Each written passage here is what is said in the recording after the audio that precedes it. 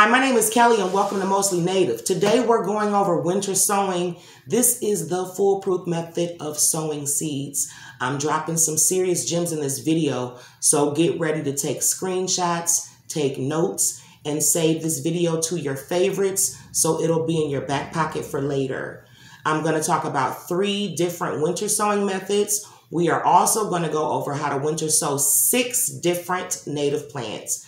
There is loads of information in this video. We're talking lessons learned, we're talking best practices, and more. Check out my website at mostlynative.com. A materials list will be available along with step-by-step -step instructions and the plant information cards you'll see in this video in the next few days. If you enjoyed this video, like, comment, share, and subscribe. Now let's get into these materials. You'll need a clear plastic container that is a number five plastic. If you look at the bottom, you'll find the number in a little triangle like that. That PP stands for polypropylene. Number five is going to be your best option. It's food safe. It holds up to sunlight. It is very, very strong. This is like sturdy. If you use something like a milk jug or something like that, which you could use, that plastic is going to be thinner. Um, what I don't like about the number two is that it can leach endocrine disruptors into the soil. I've read uh, some conflicting information about that. Some places say that, oh, it's just only a tiny bit. Other places are like, no, warning, it's ruining the planet. But what an endocrine disruptor does is it negatively affects the plant's ability to grow their roots. So that's that sounds like a problem for me. I know that number five does not do that. So I would recommend just do the number five. Another thing that I've learned about using the milk jugs is that this is a lot of work. So if you're going to use like a milk jug, you'd have to cut that like so. You would leave this part uncut so that way it acts as a hinge. And then you will have to take tape to seal that back up. As opposed to just using a container. That you don't have to do any of that cutting. And you get one that has a lid. So this particular one that I'm using is exceptionally marvelous. It has handles on it. Now, I don't know if you're going to be as lucky to find this. I got this from a store um, in Ohio that doesn't exist anywhere else. But um, I don't know. Maybe you can find this somewhere. It says life story on there. And it comes in different sizes. You want to make sure that the height is at least about five or six inches tall. I would say six inches because you're going to end up putting four inches of uh, dirt in here. So just to give it some room. You're also going to need some organic coffee filters. I say organic because I like like no toxins if possible. So you're going to go with organic coffee filters. And then you're also going to need some type of tool to put holes in the bottom of your container. I'm going to use my drill, but you can use a knife. I used a knife last year when I did it. Um, you can also use something like an incense stick and just have it burning and burn holes into the container. Another important thing is that you want to make sure that your container is clear because you don't want a dark colored container because that's going to absorb more sunlight it's going to make the sun, the uh, soil too hot, and it's also going to make your seeds and your plants hot. So you don't want to cook your plants. So go with a clear one. Then you also want to get some potting mix. Not potting soil, potting mix. Your potting mix is going to be free of bacteria and pathogens. Potting soil may have that in there. And another thing that's good about the potting mix is there are going to be no uh, viable seeds in there. So you don't have to worry about growing your plants and then a bunch of seeds from um, weeds pop up and you get confused and think, oh, look at all these great plants I grew. And it turns out that those are weeds. So make sure you get potting mix. Another thing to note is this particular container is pretty long. Now I do have um, containers that aren't this wide, but for plants that I'm growing where my seed pack has like a lot of seeds in them, I'm going to go with this long container. The one that I'm doing today, incidentally, has 400 seeds. So that was another lesson that I learned last year when I did the winter sowing is that pay attention to how many seeds you're putting in there because the crazy thing about this method is it really works. So as long as you have viable seeds, it's gonna work. And um, you know, if you can imagine 400 plants growing inside of a a water jug, that's going to be pretty crazy and it's hard to separate those plants from each other. So, this, in my opinion, is the easiest way to do it using a container with a lid. And if you can find some, like I did with these beautiful handles, even better. Optionally, you may want to use some type of scooper I'm actually going to buy one. This is just a measuring cup I'm using. But you could also use like a bowl if you wanted to, a cup, a mug. Be creative, whatever you want. Or you can just go all manual and use your hands. But uh, the scooper may make everything less messy. Lastly, you're going to need some type of garden marker. Or you can use some type of Sharpie. I've read conflicting information um, as far as that goes. I've read that garden markers don't work. I've read that Sharpies don't work. So it's just to your discretion. Last year, I used a garden marker. Um, and I will say that I believe that it depends on what material your garden stakes are. Like I'm using plastic this year. Last year, I had wooden garden stakes and the wood kind of messed up. Like I still couldn't see what I wrote on there. So I'm hoping that the plastic will be better. So we'll see how that turns out. Your next step is going to be to just drill holes or put holes in there, whatever way you decide to do it. put some holes in the bottom of the container.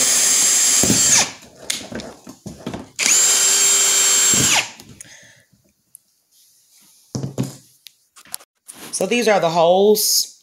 I just did these randomly. So you'll just use your discretion on how many you want to put. But just put enough where the water can adequately drain. And this I have, let's see, one, two, three, four, five, six, seven.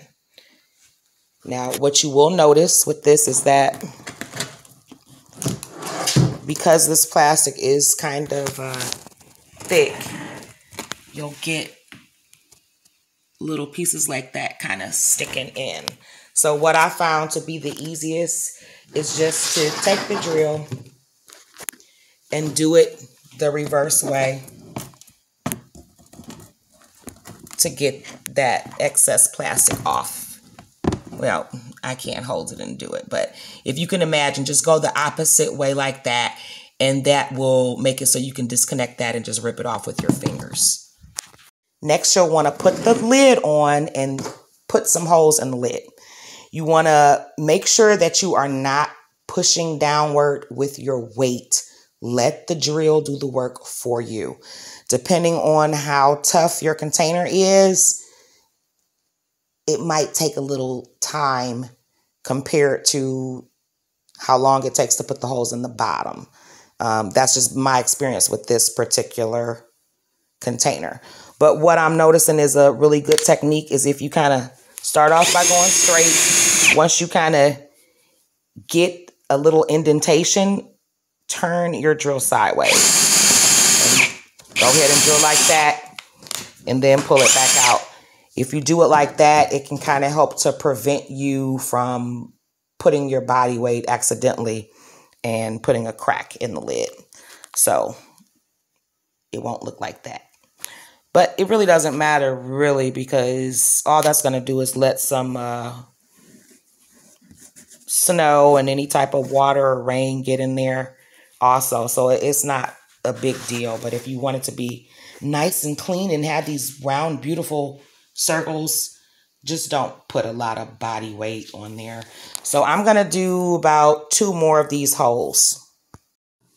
Once you get those holes relatively clean and you don't have any excess plastic on the top, and you also want to make sure that's relatively flat because now what you're going to do next is put some coffee filters over those holes to try to prevent slugs from going up in your plants.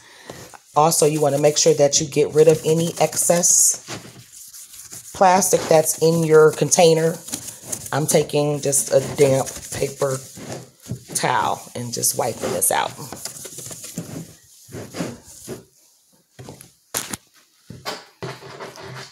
Now we're just putting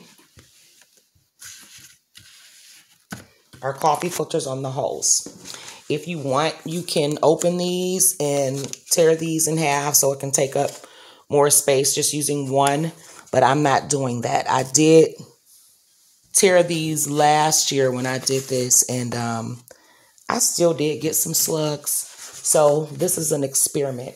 Let's see if not tearing them can make it so I get zero slugs. Next, you'll need to see how far up this container, four inches, really is. So I see where it is. It's kind of uh, maybe almost halfway between that last line on this container.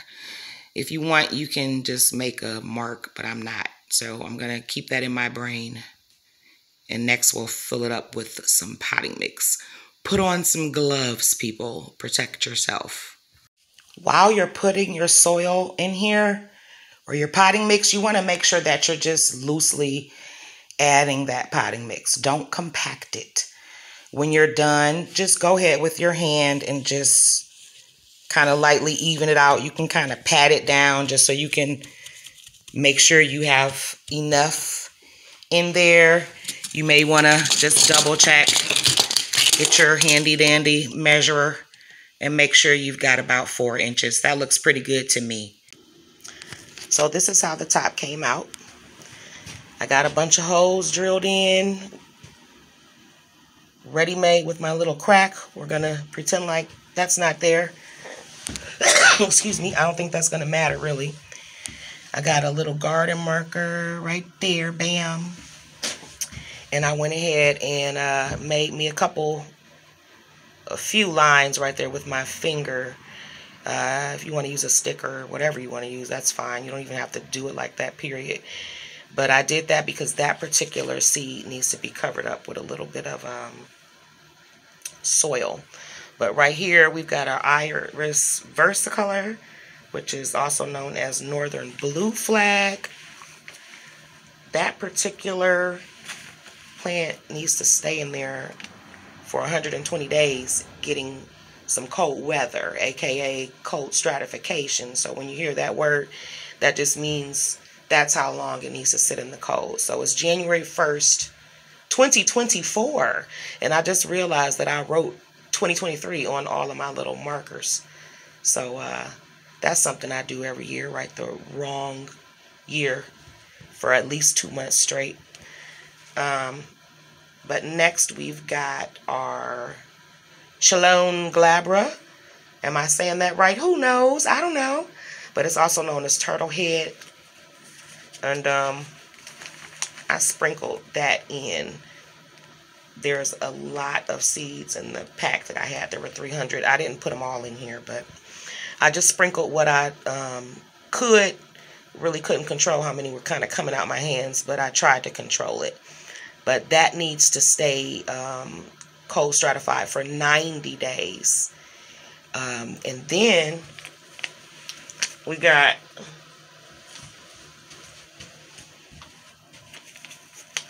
Mertensia virginica, aka Virginia bluebells. I had 75 seeds of those. I sprinkled those in there. I just need a dust of soil to cover those up. Those need to stay cold stratified for 60 days. And last but certainly not least, we've got Phlox pilosa, aka prairie phlox. That's going to need to stay cold stratified for 60 days as well. And I'm just going to cover that up with a light dusting of soil. So now I'm going to go ahead and cover these up and then I am going to take them outside. Take this whole basket outside um, with the top on it. And uh, once I get out there, I'll take the top off. I'm going to just water this a little bit to get it completely moist. And I'll just leave it in an area where I know it will receive sun. And um, you really don't have to do too much after that. You just let nature do what it does. It's going to snow on here. Um, we're going to count on some snow getting into my little tiny holes. Well, they're not that tiny, but they're, they're big enough where they'll be able to let some snow inside of here. And when you get days that are like kind of warm, you want to come out and take the top off because you don't want to cook your seeds. Uh, and when it's approaching spring and it starts to um, warm up more consistently, you'll go ahead and take that top off completely. So you guys come back and we'll see what we got going on when. Um, this is the first time that I've actually put seeds in the same container that are different types of plants. So hopefully these are going to look different from each other to the extent that I'm going to know that they're different plants. I'm I'm also kind of assuming that some of these seeds may shift around just when the um, water hits it. So we'll see. But um, I'm trying this different this year. Like I said, I used the milk containers last year. And I'm still going to use some for some plants that I don't have that many seeds for. But the problem that I ran into with those milk containers was that it was just so many seedlings in a small space. And um, because it's just me and I'm trying to like plant 10 gazillion plants in my yard, they were just getting larger and larger and larger. It made it very difficult to pull those plants apart. So I'm hoping that this is going to work better for me this year for um, plants that I have at least more um, seeds that I want to to to to grow in the plants. You know, and even these these really large ones, you know, maybe yeah, I could have put those by itself, but this is the only plant that I have seeds for that requires 120 days of stratification. So if you notice, you know, there is a um, kind of reason I put these in this order. I've got the one that needs to stay in the cold the longest there, the next longest next to that, and then both of these have the same cold stratification period. So hopefully I don't have to bother each section as much um, going down the line once I start pulling these out to transfer into either containers or the earth. Okay, this option is either using a gallon milk container or water container. So this is just cut in the middle. Well, not the middle. Enough, like right underneath the um, handle here so that way you can turn this into like a hinge. So I cut that out like so. Put some slits in the bottom using a knife. And now I just add these coffee filters in the bottom like that with the same hopes as the other one, um, other container, which is to try to keep slugs from coming in there. In my experience, um, it doesn't really work, but I don't know how many slugs would have gotten into the plants if I hadn't have used these. So I'm still going to put them in there. This is, I'm just using this. It's an organic um, coffee filter, so there's like no dyes or anything like that. All right, now I'm going to fill this up with about four inches of dirt and then add my seeds. Okay, I had 25 seeds of Viola striata, which is uh, a violet. It's you know, all this stuff is native, by the way. But it's um, also known as cream violet. This doesn't really require cold stratification, but from what I understand, it's recommended that these go out in the fall. So I want to get these outside right away. I don't know if you can see these little tiny seeds, but there's one. I've seen smaller actually. And I'm trying to show those little circles right there. But that's what the seeds look like. These are actually going to require a quarter inch of potting mix be placed on top of these. Here we have our prairie smoke. The scientific name is Geum triflorum. I don't know if you can see those seeds. Yeah, they look like little sparse little things there. But we've got that in there. I put 80 seeds in this container see it on top of that other one. It's about half the size of that first container. And I'm only going to put an eighth inch of soil on top of this. And our last one, we've got Aquilegia canadensis. These seeds were so small, I can't see them. Well, I can, you know, I can see them in this camera, though. They look like little tiny specks, but this particular one is going to require an eight eighth inch of uh, soil on top as well. Both of these require 60 days of cold stratification. You'll also want to make sure that you lightly tamp that soil down after you put it on top of your seed. And even the ones that are just thrown directly on top, if you have seeds like that, you still want to just kind of pat that down. Not hard, just gently pat it down so it makes some good contact with the soil. So I'm going to go ahead and uh, do the same thing with these. And uh, take these outside, find a nice little spot that can uh, get some rain and some sun and some snow. Put these tops on after I water them. And after I water this viola, I'm going to have to seal that up with some tape. I'm going to use this tape, Scotch painter's tape. But really, it's up to you what you use. Um, some people use even duct tape. It's up to you. What I've read about duct tape is um, people find it hard to take off, but it's really just going to be up to you. Um, for me so far, I don't, I think I used the blue painter's tape last year. I don't remember, but whatever it was, it, I know it was painter's tape, but it was kind of coming off, especially after I had to open them on uh, warmer days. It didn't really hold as far as the stickiness the um, after I tried to put those back in. This option is utilizing a food container.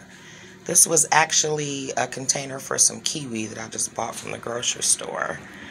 What I like about this one is, looky here, there's already a lid on it. There's already lots of holes in it. Not only at the top, there's holes at the bottom too. But it's the same technique as far as I put the coffee filters in the bottom. I added some dirt and then I added some seeds. Of course, this is only going to work if you don't have that many seeds, but there are 18 seeds in here, which is great. And this is for Podophyllum peltatum, also known as May apple. And I have my little tag in there. This needs to be cold stratified for 90 days, and it is currently January 4th, 2024. So it's a couple of days later. But I'm going to do the same thing with this one. This one only requires a light dusting. And then I'm just going to gently pour water um, on top of this, close this up and put this outside with the rest of the containers. But of note is this as well, if you um, have some type of um, plant saucer or something you can put down that will retain water, it's I found a good idea to do not necessarily now, but when it starts getting warmer, it becomes a lot easier to just pour water in the saucer. So that way you can keep your seeds wet and your uh, plant, your soil moist so the plants can still get some water. because you will need to do that every so, every so often. So that's something to think about as well. All right, I did a light dusting of soil on top of here. I want to add this too about this uh, May apple. I soaked these in um, some really warm water and um, it did cool off, but I let that sit for 24 hours before I started growing these. I've read that you'd have to do like a double um, dormancy period, meaning like I'm planting these this winter, like they wouldn't sprout this coming spring until they go through another, a second winter cycle, and then would, would um, germinate that second uh, spring. But I've also read that soaking them in, in warm water and in water overnight would make them germinate this spring. So we'll see what happens. Come back and we'll see what the experiment says. Is it true? Are they going to actually germinate? I hope they do. But we'll see. It's worth a try. But and just to show you this too, it's like you don't want to put the water on with any like really hard pressure because your seeds are going to fly around. But you do want to soak through all of the soil. So when that starts running out the bottom, I'll stop. Or when the water starts running out the bottom. If ever. If not, then I'm just going to stop anyway. When I think I've done enough. That really should be soaked through. It's running through. I see it. Bam! Okay, and I'm to cover this thing up. I don't need tape or anything. That's why this method is kind of, I like it. But I'll close that when I'm off camera because my hands are kind of messed up. But I need both hands. But alrighty, see you soon.